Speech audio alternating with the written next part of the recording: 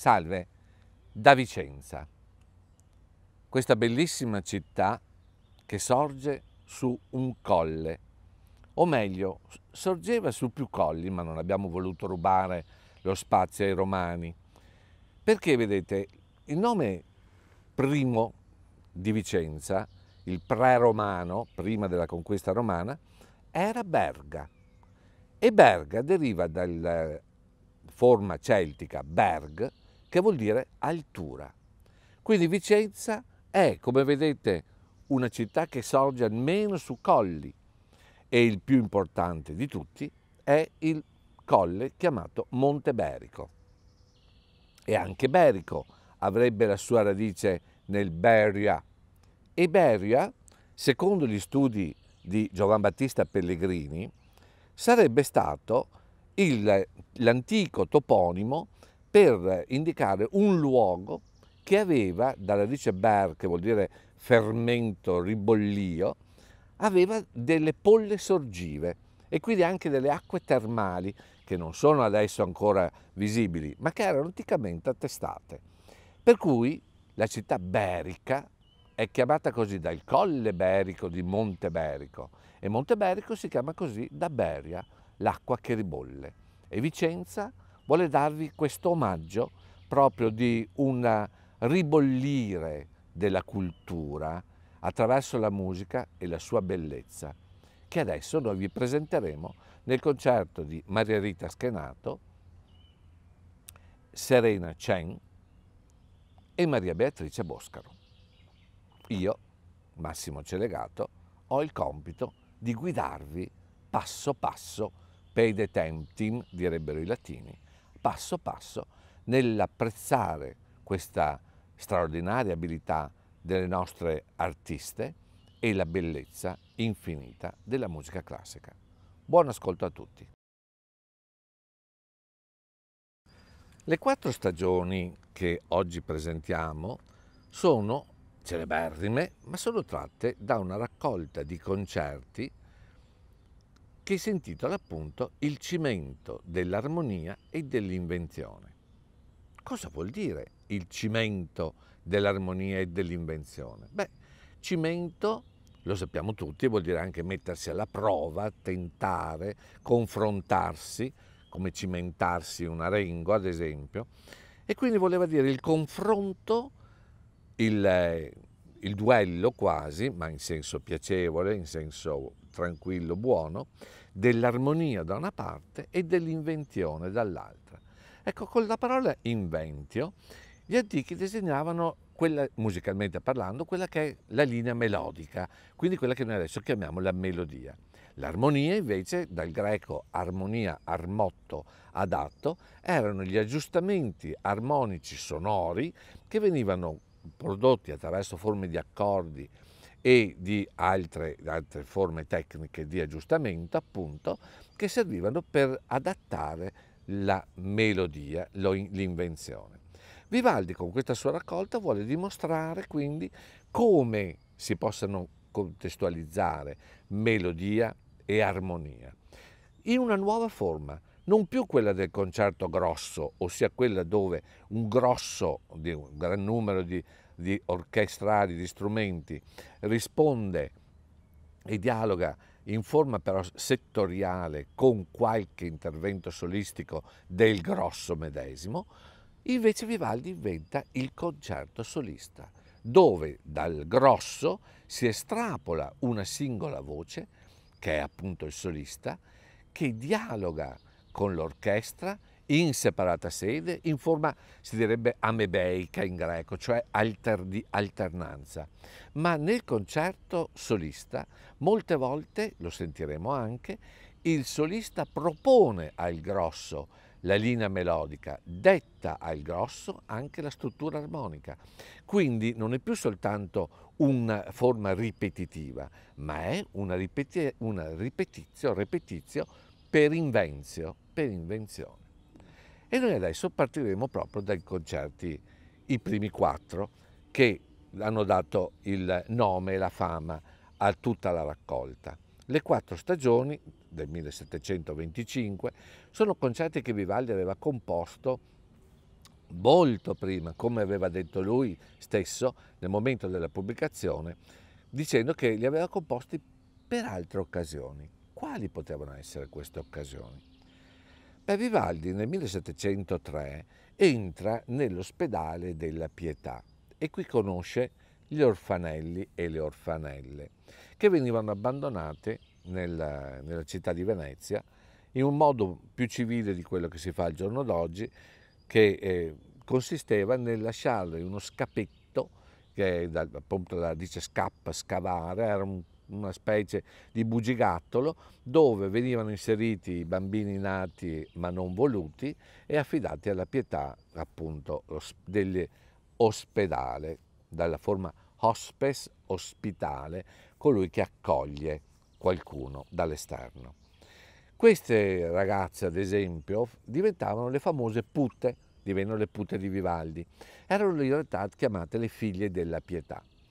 Ma di queste figlie della pietà c'era una classificazione, c'era una specie di gerarchia. C'erano le figlie comune, del comune, che erano le persone che avevano meno doti, che quindi per le loro eh, capacità o o incapacità venivano utilizzate all'interno dell'orfanatrofio per svolgere le mansioni del quotidiano, chi in cucina, lavare i piatti, cucinare, eccetera, fare le pulizie. Poi c'erano quelle invece che si distinguevano per particolari capacità virtuosistiche e venivano chiamate le figlie del coro. Entravano appunto in un coro, in una, questa comunità di persone che amavano la musica sia cantarla che suonarla e da lì si distinguevano poi altre. La più importante di tutte fu Anna Maria del Violin. Ecco perché si chiamava Anna Maria del Violin. È ovvio, è intuitivo perché era bravissima a suonare il violino, ma non tutti sanno che primo, la sua prima denominazione, non si può parlare di cognome in questo caso, era Anna Maria della Pietà, perché tutte le fanciulle avevano questa denominazione eh, Anna Maria della Pietà, Benedetta della Pietà. E Vivaldi disse, ma è triste che poi nel nome sia perpetuato il, il ricordo di questa loro condizione di sofferenza. E cominciò a cambiare loro nomi. Da Anna Maria della Pietà disse chiamiamola Anna Maria del Violin. Benedetta della Pietà divenne Benedetta dell'Oboe. Candida della Pietà divenne Candida della Viola. E noi adesso vi presenteremo le tre artiste che sono Anna Maria del Violin, Serena Chen, Candida della Viola, Maria Rita Schenato, Benedetta Dall'Oboe, Maria Beatrice Boscaro. E le nostre tre soliste vi eseguiranno insieme questa trascrizione per pianoforte a quattro mani e violino delle quattro stagioni di Vivaldi. Iniziamo con la primavera. Per presentare le quattro stagioni, Vivaldi compose quattro sonetti e con questi quattro sonetti lui vuole descrivere quello che la musica racconta con i suoi suoni. E quindi siamo in quello che io ho definito la protostoria del poema sinfonico, perché non è soltanto musica descrittiva e imitativa, ma è, come sentirete anche tra poco, proprio il voler raccontare una storia passando da una dimensione descrittiva a una dimensione narrativa. Proviamo quindi con il primo sonetto dedicato appunto alla primavera. Giunta la primavera e festosetti la salutano gli augei in coro e i fonti al mormorar dei zeffiretti con dolce mormorio scorrono intanto. E sentirete nel mormorio delle archi il, l'imitazione del suono dei, dei, delle sorgenti. Vengo coprendo l'aer di nero ammanto e lampi e tuoni a festeggiarla eletti. Indi, tacendo questi, gli augelletti tornano di nuovo al loro sonoro canto. Quindi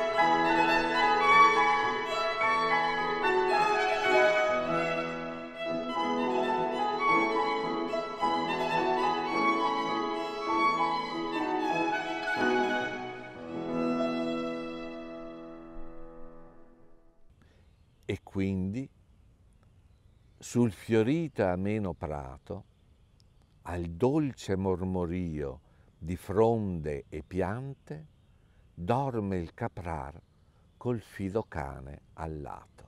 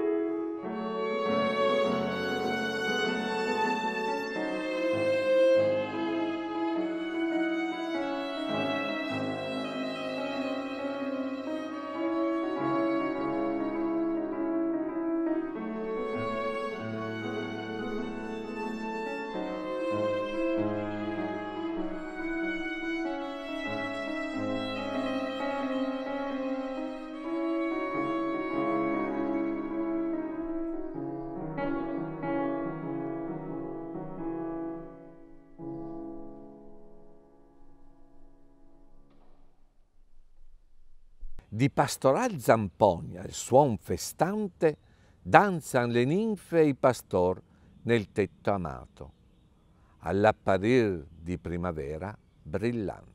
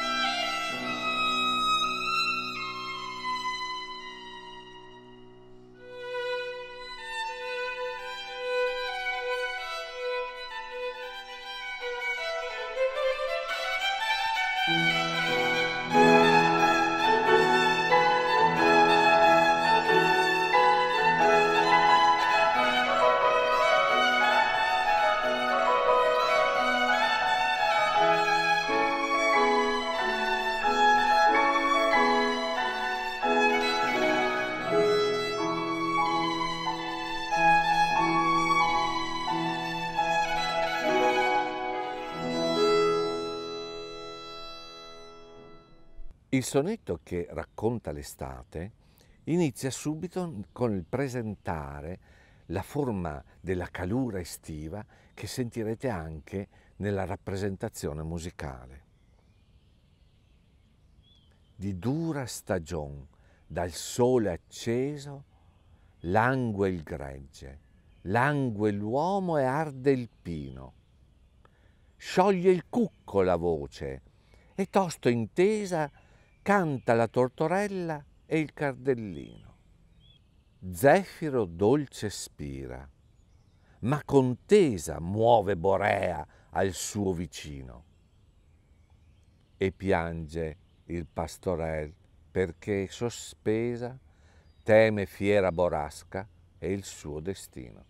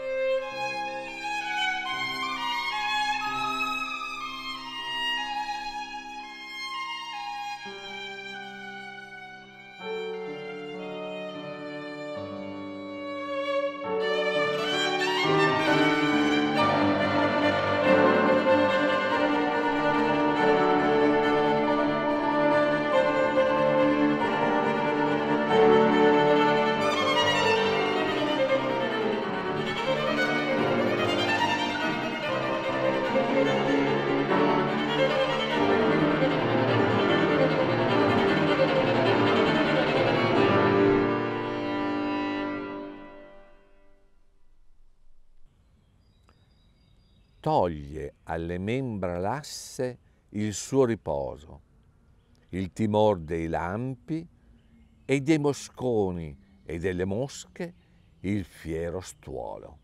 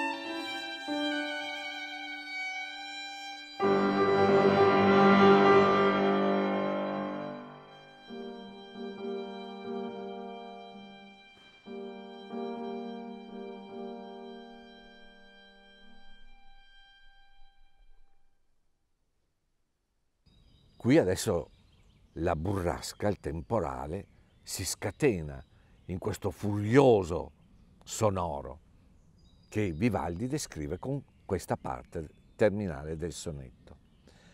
Ah, che purtroppo i suoi timor son veri, tuona e grandina il ciel grandinoso e tronca il capo alle spighe e ai grani alteri.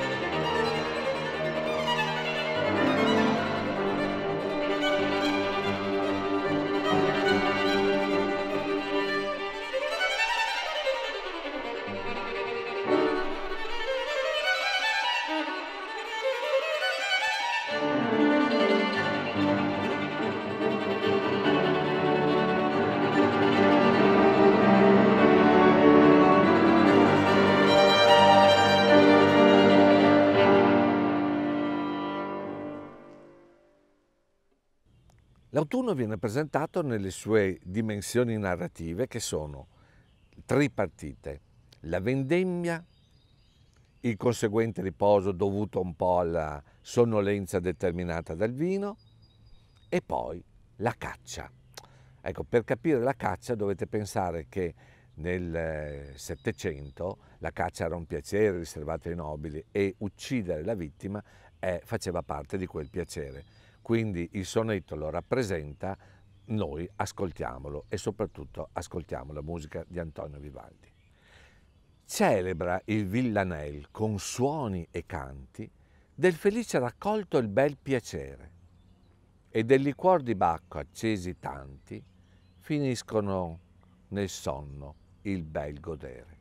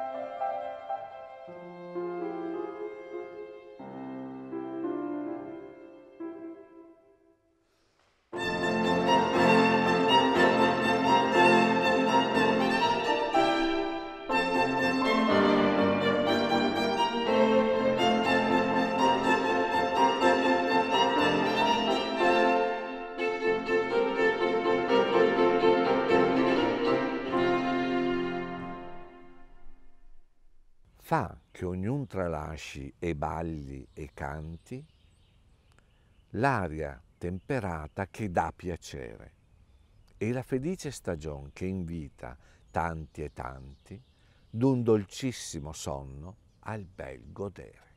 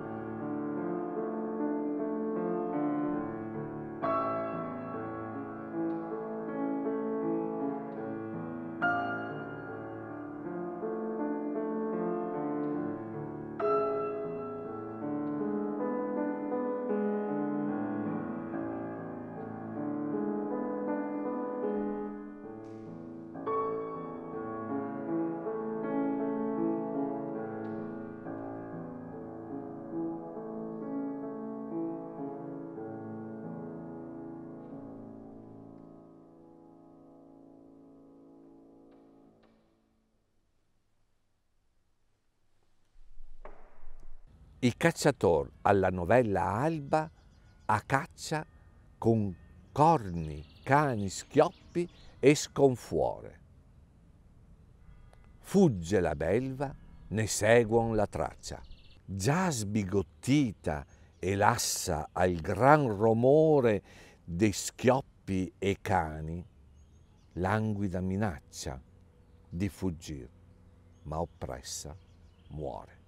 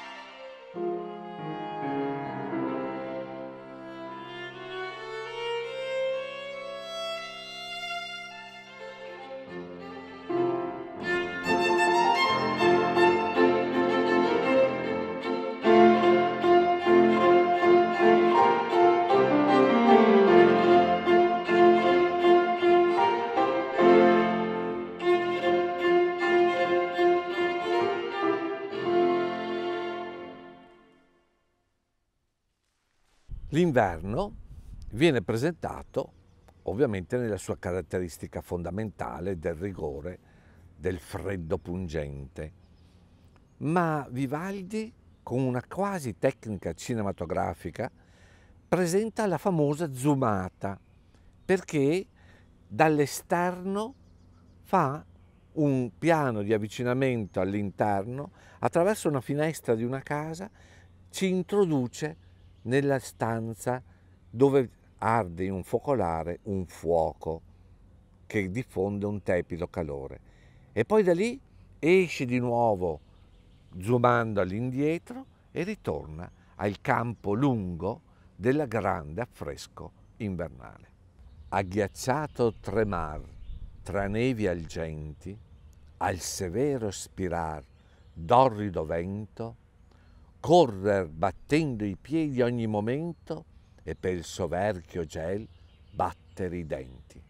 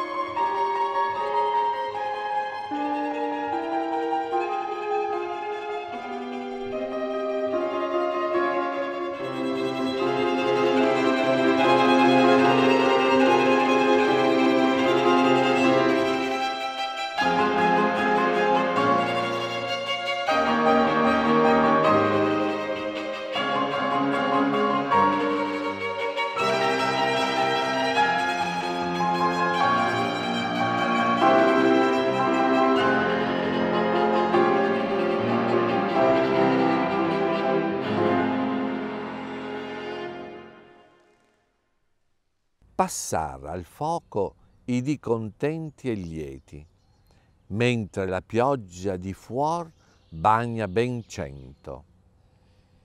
Camminar sopra il ghiaccio a passo lento, per timor di cader, girsene intenti.